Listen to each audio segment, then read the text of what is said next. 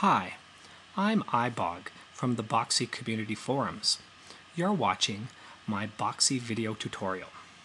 Do you store all your movies, TV shows, music, or photos on your Mac? Well, you're in luck. I'm going to show you how to share all of those files on your Mac so you can view them with Boxee running on Linux, Mac OS X, or your Apple TV. Step 1. Let's first go into the System Preferences and click on the network icon to check our settings.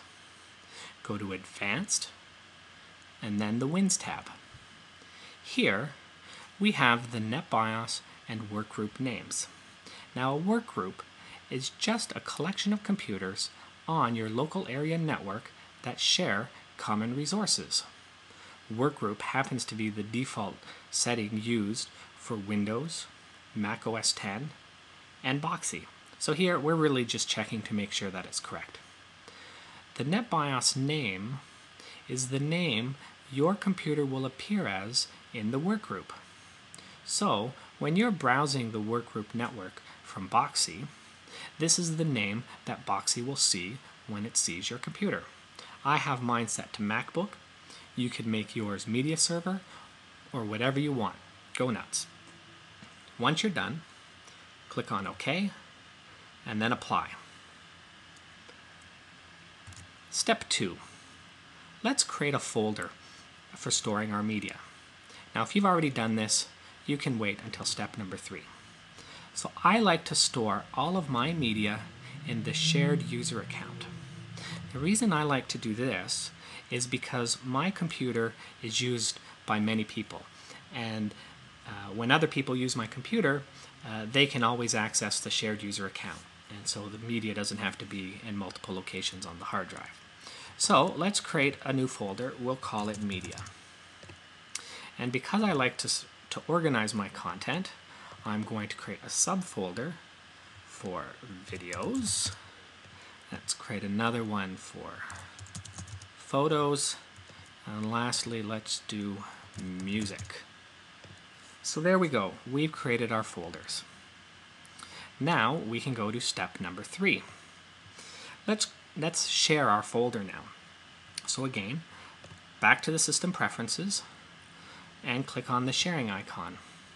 Here, we're going to enable the file sharing.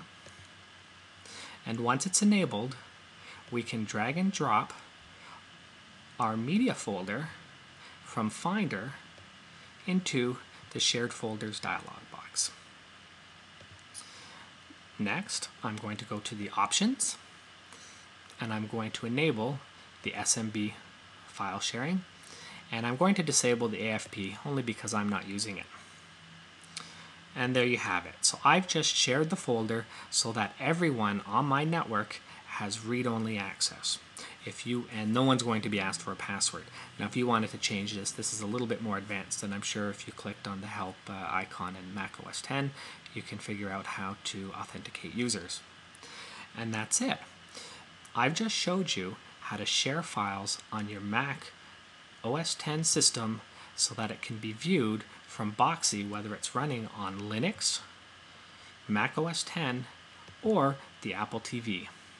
You're now ready to go to Boxee and start adding new media sources and browsing the workgroup and adding this new network share. So please come and visit us at the Boxee Community Forums at forums.boxee.tv. Let me know what you think of this video and if there's any other topics you'd like me to cover. Thank you.